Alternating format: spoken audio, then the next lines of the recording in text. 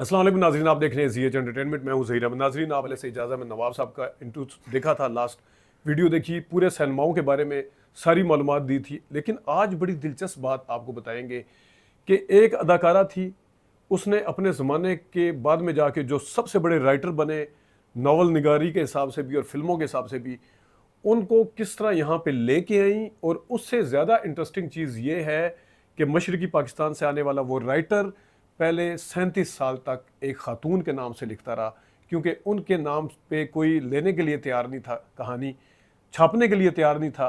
उन्हें कहा जाता था कि ख़वातीन के नाम से किसी भी खातून के नाम से आप लिखें आप बताएँ। और वो उस राइटर ने मम्मी फ़िल्म लिखी लिखी बाद में नदीम और रतीका उर्दू की जो डर गया मर गया लिखी। मैं बात कर रहा हूँ मयूद्दीन नवाब साहब की। आ, वो कैसे यहाँ तक पहुँचे इस ये वाला मुकाम कैसे हासिल किया ये बड़ी दिलचस्प कहानी है और कौन सी अदाकारा उन्हें लेके आई थी? और फिर उसी अदाकारा के नाम को इस्तेमाल करके उन्होंने नावल लिखे और किस तरह से वो आगे उनका अपनी पहचान किस तरह बनी लेकिन बहुत लंबी तपस्या और स्ट्रगल के बाद बनी। आज हमारे साथ मयूद्दीन नवाब साहब के हवाले से बात भी कौन करेंगे? इजाज़त में नवाब साहब। तो बताइएगा एजाज साहब कि क्या था ये सारा कुछ। सारी बातों से पहले एक बात करनी बहुत ज़रूरी है जो आप शायद भूल रहे हैं। जी। कि हम ज़िक्र कर आपने ज़िक्र किया महीउद्दीन नवाब। और मेरा नाम क्या है? इजाज अहमद नवाब। हम्म। अब यहाँ बड़ी दिलचस्प सूरत पैदा होती।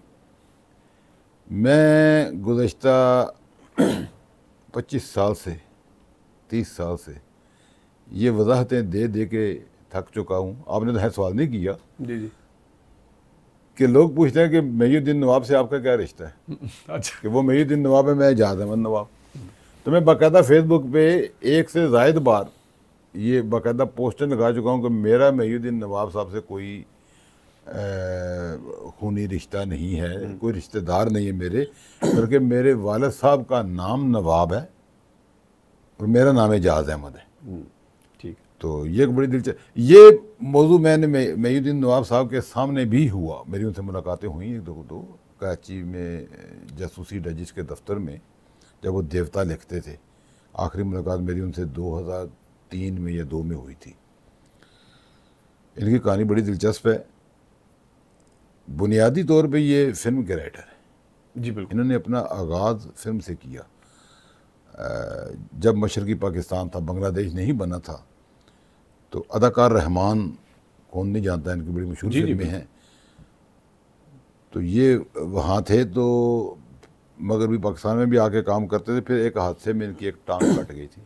रहमान साहब की। रहमान साहब की जिसकी वजह से उनकी फिल्मी कैरियर को बहुत सख्त नुकसान पहुँचा। बिल्कुल ऐसे ही वो हमने जैसे पढ़ा कि माली तौर पे वो बहुत बुरे हालात का शिकार हो गए ऐसे ही तो ऐसे वक्त में उन्होंने अपने फिल्मी दोस्तों से मदद मांगी मगरबी पाकिस्तान के दोस्तों से कि मैं एक फ़िल्म बनाना चाहता हूँ मेरे साथ फ़िल्म बनवाई जाए मेरी मदद के तौर पे। तो उन्होंने मुख्तु लोगों से रबते किए तो कुछ मेरे हरे हीरोइनों ने काम करने से इनकार कर इनकार कर दिया कुछ हीरो ने तो हीरो तो वो खुद भी थे। वो मिलन नाम से एक उन्होंने फ़िल्म शुरू की। तो उसमें पाकिस्तान से जिस अदाकारा ने हामी भरी ये एक रिकॉर्ड की बात है आपको पता है सबको पता है दीबा साहबा ने मोनालिजा की मुस्कुराहट जिनको कहते जी जी बिल्कुल। तो ये उस वक्त पूरे अपने कैरियर के भरपूर अरूज पे थी। बिल्कुल। तो उस वक्त एक दूसरे मुल्क के दूसरे हिस्से में जाके और बर नाम मुआवजे बल्कि बगैर मुआवजे के काम करना बहुत बड़ा दिल गुर्दे का काम था। वहाँ जो फ़िल्म थी जो हमारी मालूम के मुताबिक वो जो फ़िल्म रहमान साहब बना रहे थे जो कि वो सारी कास्ट या सारे चीज़ ही मुफ़्त थी तो उसके जो राइटर थे वो महीउद्दीन नवाब थे। अब ये भी नए नए कलम की दुनिया में नौजवान थे, दाखिल हुए, इनको भी शायद कुछ भी नहीं मिला होगा। उस दौरान वो अदाकारा दीबा जो थी वो वहाँ काफ़ी अर्सा ज़ाहिर दो चार महीने तो लगे होंगे शूटिंग के लिए। तो वो जब उन्होंने उनकी मुलाकात हुई तो जैसा कि हमने तारीखी हवालों से पढ़ा तो वो उन्होंने कहा, जी, आप अगर मगरबी पाकिस्तान चले जाएँ, कराची या लाहौर में तो आपके लिए ज़्यादा स्कोप हो सकता है क्योंकि आप उर्दू के लखारी हैं। उर्दू बहुत अच्छी आपको आती है। तो यहाँ तो मशरकी पाकिस्तान में उर्दू को इतनी वो स्कोप नहीं, उसका। स्कोप नहीं था। अखबार भी बंगाली में थे। आम ज़िंदगी में भी लोग बंगाली जबान बोल तो उन्होंने कहा जी कि मैं चला तो जाऊँ लेकिन मेरे पास कुछ इतने वसाइल नहीं हैं। हम्म। तो वो फिर जैसा कि हमने पढ़ा कि वो उनको अपने साथ लेके लाहौर आ गई दीबा साहबा दीबा साहबा कि चलो जी मैं किराया लगा देती हूँ हमें नहीं पता क्या सूरत हाल पैदा हुई। लेकिन हमने जो सुना है पुरानी मालूमती किताबों में पढ़ा है क्योंकि हम तो कोई इसी बात के यानी शायद नहीं है। वो यहाँ आ गई अब वो यहाँ आ गए तो उन्होंने फ़िल्म से तो कुछ अलग उनका रहा नहीं महीदीन नवाब साहब का हालाँकि आगाज़ फ़िल्म से ही हुआ हाँ। तो यहाँ आके उन्होंने जनाब अली वो अपना लिखने वाला बंदा लिखने से रह नहीं सकता उन्होंने नावल लिखने शुरू कर दिया नावल लिखा तो पब्लिशर के पास पहुँच गए। तो उन्होंने कहा जनाब कि आपकी किताब जो है वो यहाँ जो रुझान है ख़वातीन के नामों का। अच्छा। उस ज़माने में ए आर ख़ातून थी जुबैदा हम्म। ख़ातून सलमा सलमा कंवल है हमीदा जबी हम्म। रजिया भट्ट का बड़ा बहुत बड़ा नाम। बहुत बड़ा नाम है। हम्म। तो वो सारा उनका होल था। बुशरा कहा जी कि ये बुशा रहमान भी काफ़ी पुरानी है लगन इनकी लाजवाब। नावल प्यासी बहुत नावल ये तो बाद में आए तो उन्होंने पब्लिशर ने कहा जी कि अगर आप कहें तो ये किसी खातून के नाम से छाप देते हैं मर्द के नाम से नहीं छाप सकेंगे हम्म। पैसे आपको मिल जाएँगे हम्म। बहर मजबूरी थी उनकी उनका बात तो चल रहा है नए राइटर का तो कौन पूछता है हाँ। उन्होंने कहा जी ठीक है तो उन्होंने कहा जी फिर आप लिख दें अपना नाम काटे किसी खातून का लिख दें। उन्होंने ऊपर नाम लिख दिया जो भी उनको वक्त दिमाग में आया दीबा खानम लिख दीबा खानम। वो दीबा खानम उस वक्त बड़ी हीरोइन थी।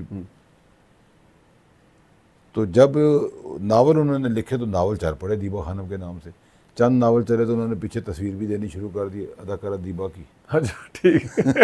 वो भी हमने हमने तो हमारी लाइब्रेरी थी हमने तो मतलब कॉन्फिडेंस का लेवल चेक कर पहले नाम तस्वीर। ये सही बात तो नाम खाली होना बंदा क्या सकता है यार? वो तस्वीर आप ही तो दीबा नहीं है ना और भी बड़ी दीबा तो वो फिर बहर इसके ऊपर कुछ कुछ हुआ भी शायद अदाकारा दीबा को किसी ने बताया भी हो कि ये हुआ वो हुआ। तो बाद में उन्होंने देखा कि ये तो वही शख्स है जो मेरे साथ आए थे हम्म। तो फिर उनका मेरा है कोई आपस में सुलह होगी होगी हम्म। लेकिन वो नावलों की वजह से शोहरत बढ़ी हुई मईदीन नवाब साहब की कराची में उन दिनों सस्पेंस रजिस्टर वालों को कोई अच्छे राइटर की तलाश थी हम्म। उस वक्त जासूसी में सदियों का बेटा सब रंग में इनका काबला चल रही थी अदफ चल रहा में छलावा चल रही थी। तो एक सब खानम के नाम से? नहीं नहीं वो मुख्तलिफ़ राइटर के नाम से। अच्छा ठीक है। अच्छा जो सस्पेंस रजिस्ट वालों को एक हाँ। अच्छे राइटर की तलाश थी जो अच्छी लंबी तवील सिलसिलेवार कहानी को संभाल सके। हम्म। तो जब उन्होंने तलाश की तो उनकी नज़र इंतखब दीबा खानम पे ठहरी कि ये जो राइटर है ये बड़ी अच्छी लिख रही है। हम्म। तो एडिटर साहब को किसी ने बताया कि ये खातून नहीं है ये मर्द राइटर है। हम्म। ये तो ऐसे फलां हैं उन्होंने कहा जी उनको लाओ। उन्होंने रबता किया लाहौर से बुलवाया उनको कराची में। उनसे लिखवाई तो देवता के नाम से। देवता से बड़ा बड़ा बड़ा चली वो। अब मज़े की बात यह है कि देवता भी मेजुद्दीन साहब के अपने नाम से नहीं चली। पहले वो दीबा खानम के नाम से साल हर साल लिखते रहे। अब वो फराद अली तैमूर बन गए। ओके। लिखना शुरू कर दिया। सैंतीस साल तक मेजुद्दीन नवाब साहब वो फराद अली तैमूर बन के लिखते रहे। इस दौरान फिर मुख्तलिफ़ पब्लिशरों को उन्होंने किताबें लिखी जो अपने नाम से लिखी और लोगों को पता भी चल गया कि ये दिन नवाब हैं। लेकिन अपने असली नाम को पहचान बनाते बनाते उनको अशरों बीते बाद में इतनी शहरत हुई कि वो शख्स जिसने अपने कलम का आगाज़ ही फ़िल्म से किया। दरमियान के 40-45 साल के वक्फे के बाद वो शहरत के उस मकाम पर विराजमान हुए हम्म। कि पाकिस्तान के बड़े बड़े फ़िल्म साजों ने उनकी तरफ़ रजू किया हम्म। और उनसे फ़िल्में लिखवाई। हम्म। जो डर गया वो, वो मर गया गया। और वो मम्मी। मम्मी। और काफ़ी सारी फ़िल्में हैं। अब तो नाम भी हमें याद नहीं है। लेकिन उनके अदर देन फ़िल्म के अलावा भी वो नावल निगार अपने नाम से कितने बड़े बने ना। महीउद्दीन नवाब बहुत बड़ा नाम है। मैंने अभी उर्दू कहानी का सफ़र के नुमान से मैं अदीबों के इंटरव्यूज़ वगैरह खा के लिखता रहता हूँ। तो उसमें मैंने महीउद्दीन नवाब साहब का बड़ी तवील मुफसल मजमून लिखा। वो लोगों ने बड़ा पसंद किया। तो महीउद्दीन नवाब साहब के साहबजादे शकील अहमद नवाब साहब ये पिछले साल कहीं इस्लामाबाद आए। तो उन्होंने मुझे ख़ास तौर पर फ़ोन किया। कि जी आपने अब्बा के मतलब लिखा। तो आपने तो बिल्कुल बिल्कुल। वो बहु लिखा जैसे अब्बा हमें बताया करते थे। तो आपने ये तहकीक कहाँ से की? मैंने कहा यार बस हम भी ऐसे ढूंढते रहते हैं। तो मैंने उसमें बड़ा अच्छा कोशिश की कि अच्छा लिखा जाए। वो फिर शकील अहमद नवाब साहब बाकायदा मेरे पास आए यहाँ जा इधर ही जहाँ आप तशरीफ़ रखते इधर ही वो बैठे हुए थे। खाना शाना खाया उन्होंने हमारे साथ वक्त गुजारा। तो उन्होंने मुझे यूँ याद पड़ता है कि उन्होंने मुझे कहा कि उनकी बेटी गालबन दीबा साहबा की किसी बेटे के साथ ब्याही हुई है। रिश्तेदारी भी कोई इस तरह की कोई बात है? मुझे ये कन्फर्म नहीं है। लेकिन तकरीबन ये खासी मतलब मुझे याद पड़ती है। मैं किसी पूछ लेता पूछ लेता हूँ उनसे। क्योंकि उन्होंने मुझे बता दिया कि मैं अभी लाहौर से आ रहा हूँ अपनी बेटी के घर से आ रहा हूँ तो वो वो उनके घरों में। तो यानी उनके साथ उनकी अगर ऐसा नहीं है तो कोई सी और तरीके से उस घर से उनकी अब रिश्तेदारी बन चुकी है। अच्छा इजाज भाई, ये बताइएगा कि देखें, एक बंदे ने इतनी स्ट्रगल की, फिर कहीं जाके अपना नाम बनाया मैं कतन इस चीज़ के ख़िलाफ़ नहीं, मैं तो कहता हूँ कि जिस तरह अगर असल में ख़वातीन लिख रही हैं, असल में तो फिर तो ठीक है। लेकिन अनफॉर्चुनेट नहीं है ये कि मतलब मैं जेंडर डिस्क्रिमिनेशन को थोड़ी देर के लिए साइड पर रख देता हूँ कि अनफॉर्चुनेटली हमारे माशरे में, अब जिस तरह हम यूट्यूब है ना हम पत्नी रिसर्च करेंगे पत्नी कितना काम करेंगे फिर कोई जाके थोड़े बहुत लोग देखेंगे। लेकिन खातन बैठ जाए आगे कुछ भी ना उनका काम तो ऐसे ही चल पड़ता है। नहीं ऐसा अच्छा, ये पहली बार नहीं हुआ। बहुत तरह तो एक और बड़े मशहूर राइटर हैं। मीना मीना नाज साहबा। अच्छा मीना नाज भी जो हैं वो मर्द हैं। जी इनकी मैं सैकड़ों के हिसाब से नावल है। सैकड़ों के और ये मीना नाज हयात हैं। मोहम्मद अमीन नाम है इनका। नाज शाज वो- नहीं ये मीना नाज के नाम से लिखते हैं। अब तो नहीं लिखते अब मैं हर अस्सी साल से प्लस है उम्र इनकी। मेरे बड़े अच्छे जानने वाले। पिछले दिनों उनसे मेरी फ़ोन पे बात हुई है। तो ये लिखते हैं अनवार सदीकी साहब एक बहुत बड़े राइटर हैं। जी जी बिल्कुल। डाइजेस्टर में सब रंग डाइजेस्ट उनकी तहरीरों से चला। इनका कावला सोना घाट का पुजारी। वो सस्पेंस डाइजेस्ट में रजनी पटेल के नाम से लिखते रहे। इंटरेस्टिंग ये तो बहुत अभी अगर इसकी हम फहरिस्त बनाएँ तो ये बड़ी तवील लिस्ट जाती है।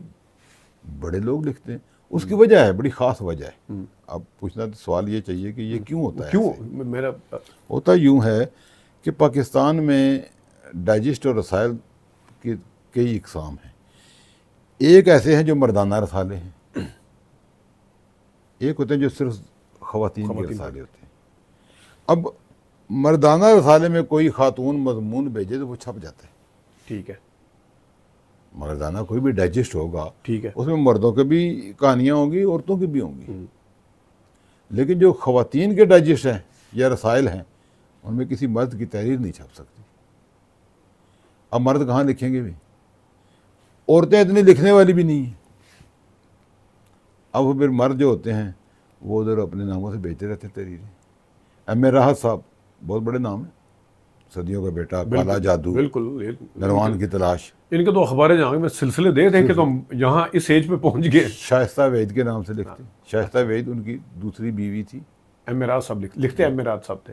मेरा साहब नहीं शाइस्ता वैद ने शुरू में कुछ लिखा वो भी राइटर थी लेकिन उसके बाद उनकी शादी होगी अब अमेरा साहब के पास कहानियों की डिमांड ज़्यादा आ रही है। एक एक डाइजेस्ट में उनकी दो दो कहानियाँ चल रही हैं।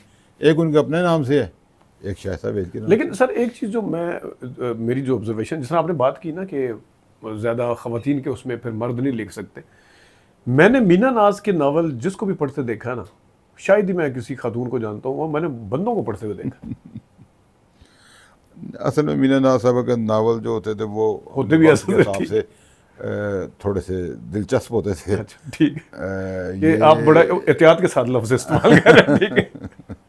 ठीक है। वो बड़ा एक दौर था जब उस वक्त डाइजेस्टों सालों में भी ऐसी ही कहानियाँ छपती थी। ये जो मशहूर मशहूर जितने भी डाइजेस्टों के सिलसिले हैं ये भी पढ़े ये दिलचस्प होती हैं ये। तो उस वक्त ऐसे ही सारे लिखते थे। लेकिन जब मीना नाथ साहब के बारे में मीना नाथ साहब ने कभी छुपाया नहीं था कि मैं मर्द नहीं हूँ। वो बता देते थे लोगों को। लोगों को बताते थे लेकिन हाँ। रीडर्स को मतलब जो पढ़ने वाले हैं रीडरशिप हाँ। उनको तो नहीं पता हाँ तो उनको नहीं पता था लेकिन वो जैसे देखे ना रजिया भट्ट हैं या और जो राइटर्स हैं सलमा कंवल वगैरह ये इस्लाही रोमांटिक नावल होते थे। तो कुछ नावल होते हैं जो थोड़े से हट के होते हैं। ज़्यादा मतलब हटके लिखे जाते हैं। तो वो फिर मीना नाथ साहब का एक हल्का अहबाब ऐसा बन गया था। लेकिन ये बड़े अच्छे बहुत आला पाए के इनके जो नावल हैं वो भी हैं। वो बहुत कम होते हैं। किसी भी राइटर को लिए ऐसे पहचान उसकी अच्छी तहरीरें होती हैं। बिल्कुल। बड़ी अच्छी तहरीरें हैं अभी इंटरव्यू हम करेंगे मेरा नाथ साहब से साहब से। अब तो ये भी नहीं पता ना और भी वहाँ जब बुलाना तो क्या क्या हाँ, किसी वक्त मैं इसके ऊपर तफसीली लिखूँगा एक मजमून पूरा या आपके साथ भी विलाक कर लेंगे कोई। जी जी। कि ये नामों की जो फहरिस्त जाएगी जो मर्द खवातीन के नामों से लिखते हैं ये कोई छोटी फहरिस्त नहीं अच्छा।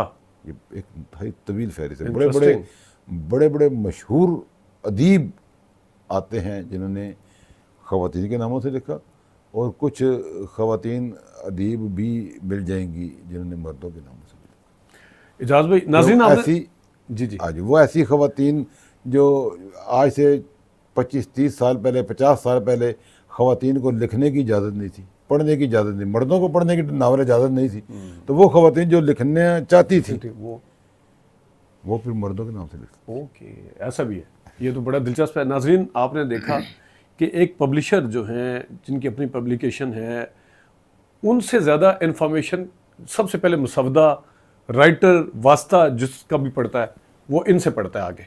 तो ये फ़र्स्ट हैंड इन्फॉर्मेशन है। ए, इजाज़ साहब आपको बहुत शुक्रिया आपने टाइम निकाला। तो नाजरीन उम्मीद है आपको इंटरव्यू अच्छा लगा होगा आप इजाज़त दीजिए। अल्लाह हाफिज़।